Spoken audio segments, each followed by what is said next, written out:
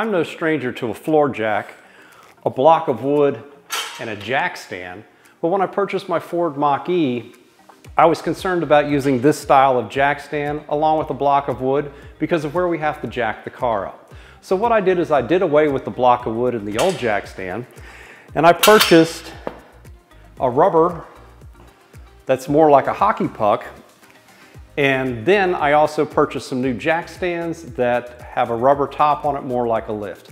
The Mach-E Mustang has four lifting points as we all probably know since we're watching this video. Uh, at the four corners of the car, if you have a lift, that is a great thing.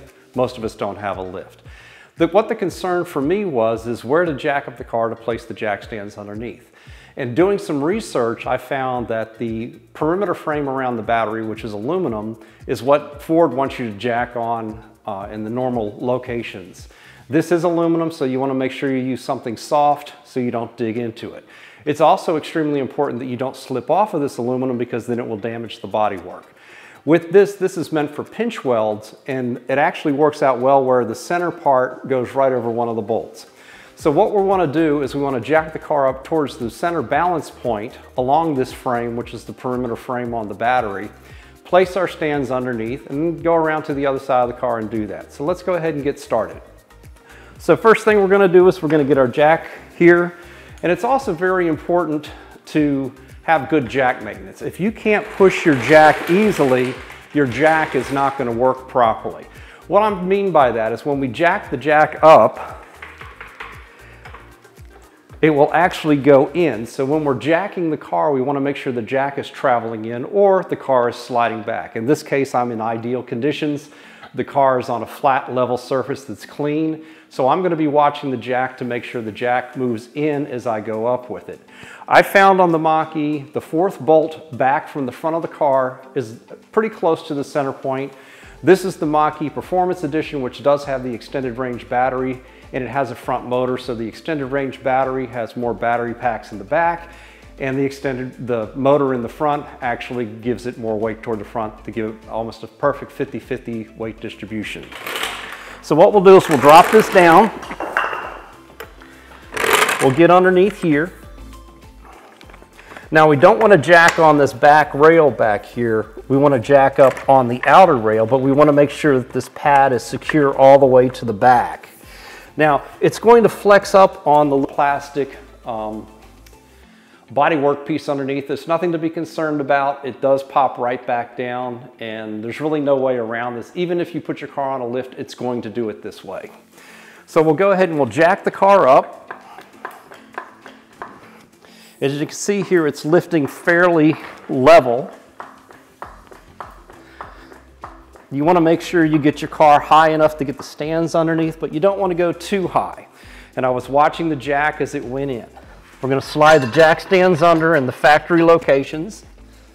I'm going to jack this just a little bit more. These jack stands have large rubber pads on them.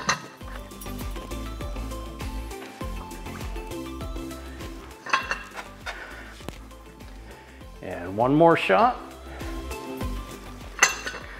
So now everything's sitting nice and level. We'll let the jack down slowly. So now we've got the first part of our Mustang up in the air here. So what we're gonna do now is we're gonna go ahead and spin this around. Now that we've got the other side of the Mach-E jacked up, a little bit of TV trickery here, which is easier than setting up the camera again. I do have the driver's side jacked up now, but what we want to do is we're going to jack the car in the same location as on the driver's side, the fourth bolt back. Things we want to watch out for as we're jacking is that the stands on the other side are not moving.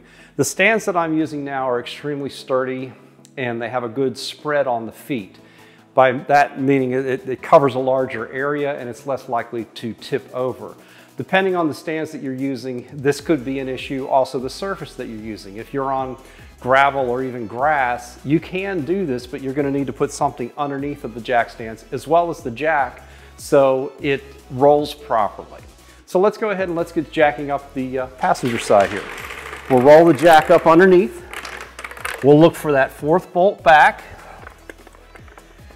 We'll get our rubber disc all the way up against the frame on the battery and we'll start jacking the car up. Now, as we're jacking, we want to watch the stands on the other side. Sometimes it might be easier to get somebody to help you uh, spot the stands on the other side.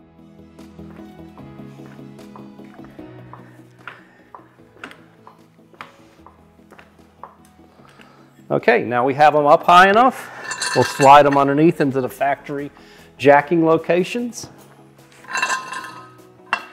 And then we'll drop the car down slowly.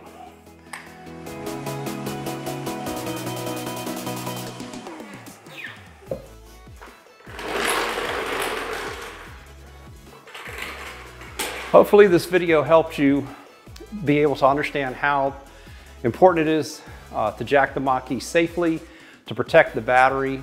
Also, how the frame on the Mach-E works as far as the perimeter frame on the battery uh, is what we're jacking on, as well as proper stands and the type of stand to use.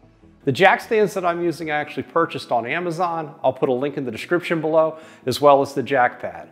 Once again, I hope this helps. If you have any questions or comments, please leave them below. And uh, enjoy your Mach-E. I'm certainly enjoying mine.